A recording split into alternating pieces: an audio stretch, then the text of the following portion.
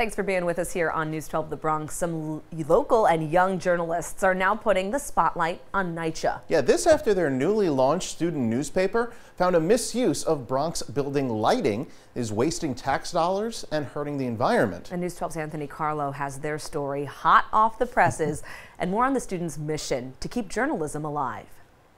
It's these LED floodlights at the Melrose, Patterson, and Jackson houses that gave this group of junior journalists a bright idea. We realized that the lights were on during the daytime.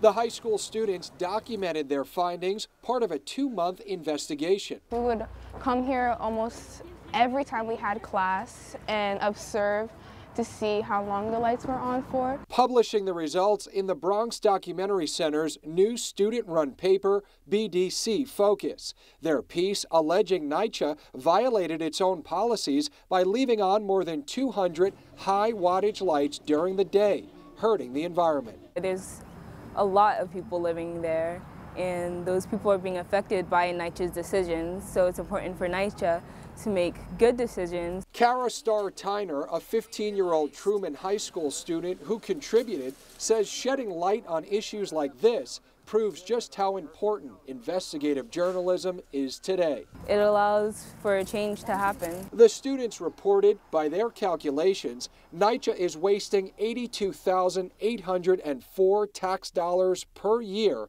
at current Con Ed rates. I wanted them to uh, actually like, you know, research it. Look for organizations that deal with like envir the environmental issues.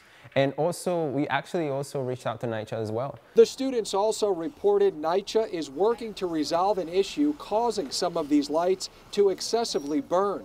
For the students, they say their burning passion for journalism is what the world needs more of. I would want to bring that back, and I think we already are. This as they plan to release the second edition of BDC Focus, their free bilingual paper, in June.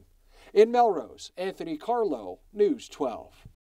And the work that they're doing is already leading to change. We reached out to NYCHA for further comment. They tell us that, quote, development staff are working to resolve an issue that causes some of the lights to be on during both the night and day at Melrose and Patterson houses, and the lighting at Jackson houses are not on 24 hours a day, and those function as designed. They go on to say that they're working continuously toward achieving their sustainability goals and policies in all areas.